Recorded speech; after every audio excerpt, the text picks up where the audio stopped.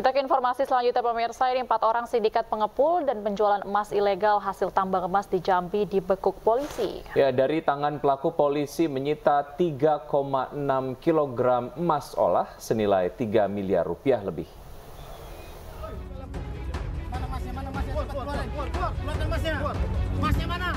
Rekaman video amatir memperlihatkan petugas penangkap kendaraan sindikat pengepul emas ilegal dari penambangan emas tanpa izin di Desa Sungai Bulu, Kecamatan Rimbo, Tengah Jambi.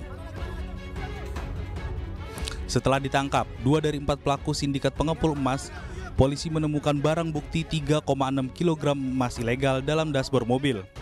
Emas olahan tersebut rencananya akan dibawa pelaku ke Paang, Sumatera Barat untuk dijual.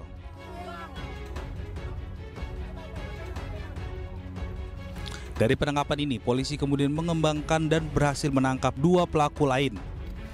Keempat tersangka memiliki peran masing-masing. Emas ilegal yang berhasil diamankan polisi ini bernilai 3 miliar rupiah. Selain itu, polisi mengamankan uang tunai dan peralatan untuk mengolah emas. Dari keempat tersangka ini, di antaranya ada salah satu ya pelaku yang masih berada di bawah umum. Lebih dari 3 miliar dari nilai kerugian kalau diuangkan dari barang bukti yang kita cita ini. Untuk kepentingan penyelidikan, pelaku harus mendekam di sel tahanan Polda Jambi. Pelaku terancam hukuman 5 tahun penjara dan denda sebanyak 10 miliar rupiah. Dari kota Jambi, Jambi, Adrianus Sunandra, iNews melaporkan.